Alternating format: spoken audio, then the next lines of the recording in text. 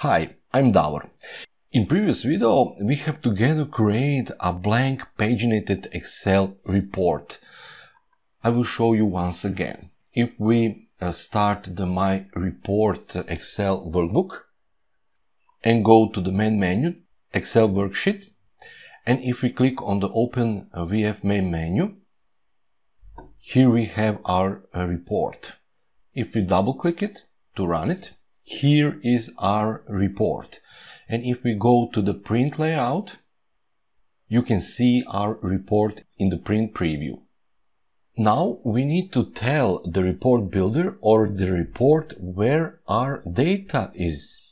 Now let's go and close this. Now let's go and open our report. In the reports subfolder, let's double click on our report. And here is our report opened in the Microsoft Report Builder. To tell the report where our data is, we need to create a data source. Click on the data sources, right click on it, add data source. Click on the use a connection embedded in my report and select the connection type OLEDB and here we need to put the connection string. We don't need to write the connection string by hand. We can go to our Excel workbook and to this main menu and click here on this gear icon, project properties. And here is the connection string. Click on the copy to clipboard okay. And we can paste this here in the connection string text box. Okay.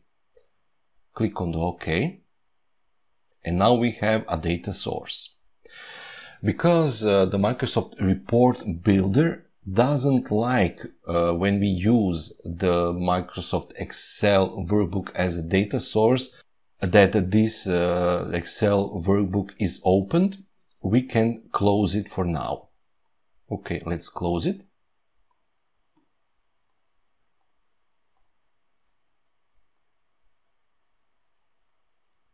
Let's go back. Right click on the data source, data source properties, and let's test the connection. Connection created successfully. Okay. As you can see, here we have a hard-coded the uh, file path to our Excel workbook. And if you ask yourself, what if we move our Excel workbook? Don't worry. Uh, virtual form control or the report viewer control inside the virtual form control will dynamically change this data source and replace this connection string with a valid connection string when we will use these reports from Excel. This is it in this video. Now we have told uh, our report where our data is.